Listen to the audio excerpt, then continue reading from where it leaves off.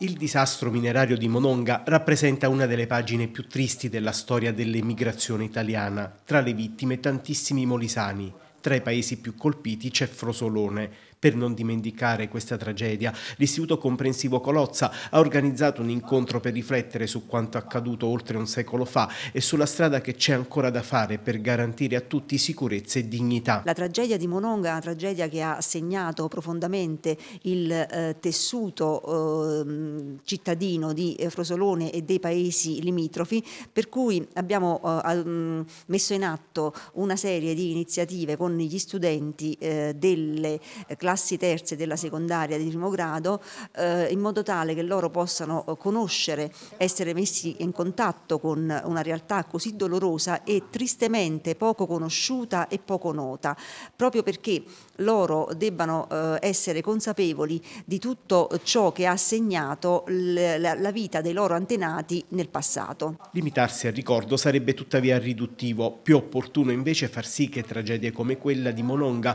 possano stimolare tutti a fare di più per dare un futuro migliore ai lavoratori. Dobbiamo fare tutti qualcosa in più rispetto alla sicurezza, non abbiamo certamente più i problemi delle miniere, ma abbiamo altri tipi di problemi, eh, sicurezza sui luoghi di lavoro, abbiamo l'insicurezza nel mondo del lavoro, per cui l'impegno credo di tutti, non solamente dell'ente regione, ma di ciascun cittadino, di ciascuna istituzione, anche dell'istituzione scolastica, è creare quelle condizioni affinché si è più pronti al mondo del lavoro anche la scuola che ci accoglie felicemente oggi credo che possa e debba dare di più rispetto a dare quelle competenze necessarie affinché i ragazzi che vengono fuori dalle scuole possano essere immessi nel mondo del lavoro nel miglior modo possibile. Proprio per mantenere vivo il ricordo, l'associazione Mononga si sta impegnando per dare il giusto rilievo alla tragedia avvenuta in terra americana. Ci impegniamo anche durante l'anno per riuscire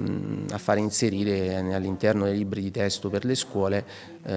il disastro minerario di Mononga, in quanto ad oggi è totalmente assente e questo significa che quasi nessuno nessuno conosce quella che è la più grande tragedia dell'emigrazione italiana e uno dei più grandi disastri del mondo del lavoro. Eh, mondo del lavoro che ancora oggi eh, conserva eh, purtroppo eh, un numero di vittime elevato e quindi non viene mai meno l'impegno da parte delle istituzioni, da parte eh, di tutti a far sì che le condizioni di sicurezza siano sempre eh, migliori.